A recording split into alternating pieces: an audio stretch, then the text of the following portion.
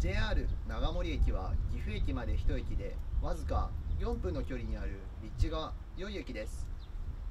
しかしこれまでは駐輪場が狭く自転車が指導にはみ出したり朝夕の時間帯には送迎車が周辺道路で列をなし混雑していました。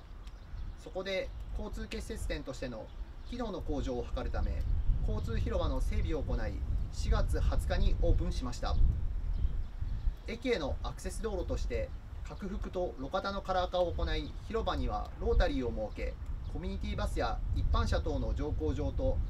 雨の日も濡れずに乗降できるシェルターさらに収容台数300台の駐輪場を整備しました。またこの整備によりこれまで寄り付けなかったコミュニティバスも乗り入れできるようになりました。